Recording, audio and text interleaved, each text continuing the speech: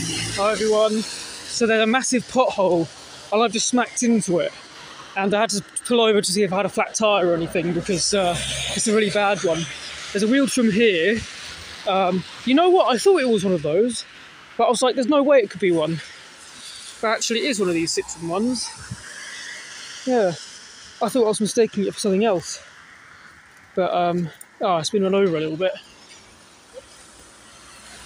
So, there we are. That's a rare fresh fall off there. I can see it's clearly been recently uh, removed as well. So there we are.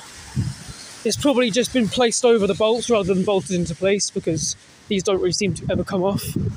Um, but yeah, there's, uh, there's this pothole down here with like seven or eight wheel trims, and they'll, they'll, they've all been lined up as well.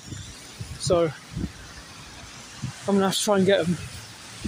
So I'll put that one there. Um, sorry about the blurriness, it's really quite um, bad. So there's probably going to be loads on the right hand side as well, but there's this gigantic pothole, everyone is hitting it, and it sounds absolutely horrendous right there. It's a really deep, nasty one. So there's one there, that's broken. Um,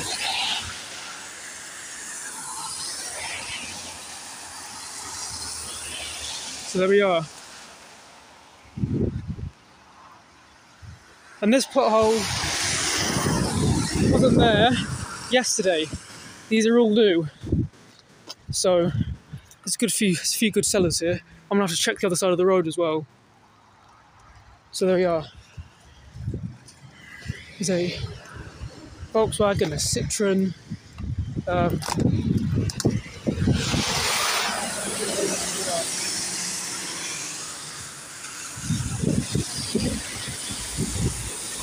Oh, I just backed into it, that one.